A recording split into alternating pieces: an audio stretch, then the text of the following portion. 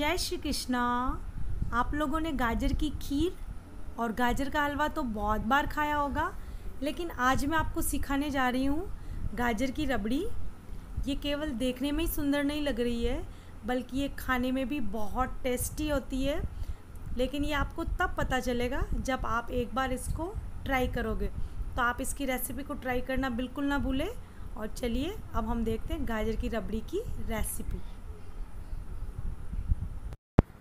गाजर की रबड़ी बनाने के लिए हमने गाजर को अच्छे से धोकर, छीलकर छोटे छोटे टुकड़ों में काट लिया है। और मैं ये एक बाउल गाजर का यूज़ कर रही हूँ। आधा बाउल शुगर, आठ से दस किशमिश, आठ से नौ बादाम। मैंने एक बाउल गाजर का यूज़ किया है। तो मैं दो बाउल दूध का यूज़ करूँगी। दो बाउल दूध से रबड़ी की जो कंसिस्टेंसी है वो एकदम परफेक्ट हो जाएगी। अगर तीन बाउल दूध का यूज़ करेंगे, तब भी कोई प्रॉब्लम नहीं है।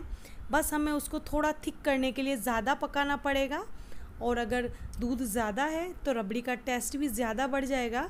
तो आप चाहे तो इसमें थोड़ा दूध की मात्रा ज़्यादा बढ़ा सकते हैं। मैं इसमें दो चम्मच घी का यूज़ कर रही हूँ। मैंने प्रेशर कुकर में दो बाउल पानी डालकर गाजर डाल दिया है। अब हम इसे दो से तीन सीटी तक पकाएँगे। हमारी गाजर पक चुकी है। अब हम इसका सारा पानी निकाल कर इसको ग्राइंड कर लेते हैं। हमने इसका सारा पानी निकाल लिया है। अब हम इसको थोड़ा ठंडा होने देंगे। जब ये थोड़ा ठंडा हो जाएगा तो हम इसको ग्राइंड करके इसका एक फ़ाइन पेस्ट बना लेंगे।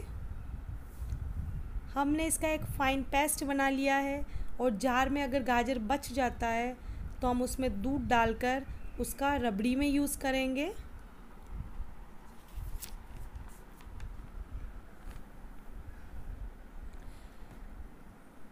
मैं कढ़ाई में दो चम्मच घी डाल रही हूँ। जब ये घी गर्म हो जाएगा तो मैं इसमें गाजर का पेस्ट डाल दूँगी। हमारा घी गर्म हो चुका है। मैं इसमें गाजर का पेस्ट डाल देती हूँ।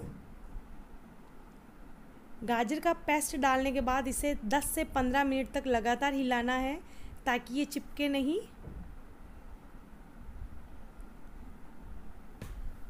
इसको भूनते हुए गाजर का पूरा पानी ख़त्म हो जाएगा और घी और गाजर अच्छे से मिक्स हो जाएँगे और घी जो है वो किनारे छोड़ने लग जाएगा। ये देखिए, अच्छे से थोड़ा थिक हो गया है। और घी भी किनारों से छूट गया है। तो अब हम इसमें थोड़ा सा इसको दो मिनट और चला लेते हैं और इसके बाद हम इसमें शुगर ऐड कर लेंगे।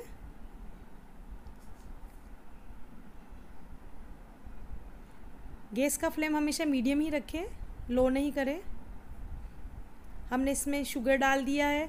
अब हम इसको मिक्स करके इसमें दूध डाल देते हैं। हमने एक बाउल इसमें दूध डाला है। जब ये दूध अच्छे से उबलना स्टार्ट हो जाएगा और थोड़ा सा थिक हो जाएगा तो हम इसमें दूसरा बाउल दूध भी डाल देंगे। हमारा दूध अच्छे से बॉईल होना स्टार्ट हो गया है। अब ये थोड़ा सा थिक हो जाएगा तो हम इसमें और अपना बचा हुआ दूध भी यूज़ कर लेंगे। अब हम इसे लगातार चलाना है। और जब तक ये थिक नहीं हो जाता है, तब तक हमें इसको पकाते रहना है।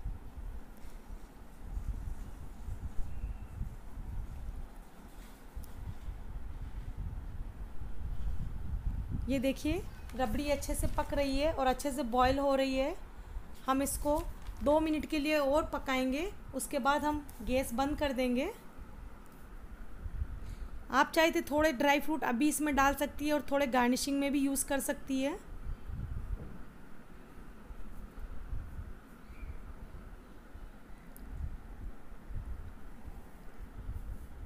रबड़ी तैयार हो गई है। मैंने गैस बंद कर दिया है। अब मैं इसको एक बाउल में ले लेती हूँ। मैंने इसको बाउल में ले लिया है और इसको ड्राई फ्रूट से सर्व कर लिया है। आप चाहे तो इसे गर्मा गर्म खाएँ और चाहे तो आप इसे फ्रिज में ठंडा करके खाएँ, पर इस रेसिपी को आप एक बार ज़रूर ट्राई करें। आपको अच्छी लगी हो तो हमारे चैनल को लाइक और सब्सक्राइब करना बिल्कुल ना भूलें। Thank you.